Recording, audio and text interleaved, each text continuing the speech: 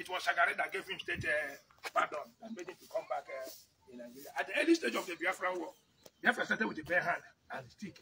So what they did was to form a group of engineers called RUAP, called what? RUAP, Research and Production Unit. Those people started fabricating weapons that the Biafras was using. They made the Bolibwe. They made the Tuku pocket.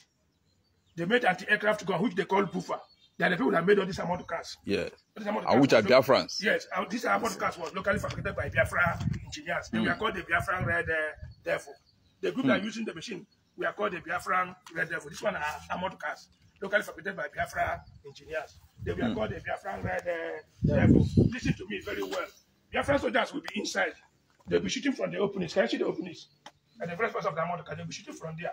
And their enemies with their top machine gun and the anti-tank uh, rifle. The enemies will be thinking that this is protecting bullet, like foreign armored car, like Panhard or Saladin, without knowing that the soldiers are inside shooting from the openings. So when they realize that Biafra soldiers were shooting from there, they start shooting the armored cars, killing Biafra soldiers inside. You can see the explosion of bullets. Killing Biafra soldiers inside. The engineers now advance to this type that bullet cannot penetrate and call this one Red Devil Type B. All these ones are Red But this Devil one is type- red uh, yeah, Red devil. Devil Type B. This one's are Type A. You can you, you can go you can go through this inside. These ones are the ones the early fabricated Yeah. and they notice that bullets are penetrating, killing Biafran soldiers inside because Biafran soldiers will be inside. They'll be shooting from the openings at their enemies. The enemies will be thinking that this is a protecting bullet like foreign armored car without knowing that Biafran soldiers are Red Devil type B. They call this one special armor carrier, the one that used to convert Biafran soldiers We're in Omar here. field. They call it one personal troop carrier. The one that used to carry Biafran soldiers at the thick of the war hmm. front. Can see one engineer I took around here What, what's the name of this one? Yes, this one is uh, Red Devil type B. Red Devil Type B. Type B, yes. One engineer I took, I took around here tell me that not that this one is more stronger than this one, that they build this one in bevel.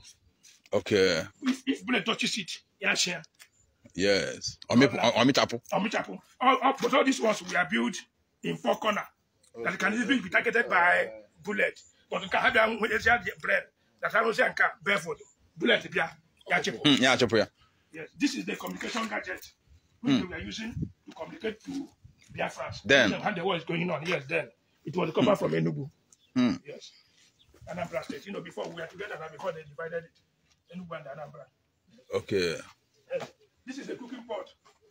This is a mini refinery, locally made by Biafra engineers. When Calabar and River State was captured, they now fabricate this thing, which they call cooking pot. It's a mini refinery.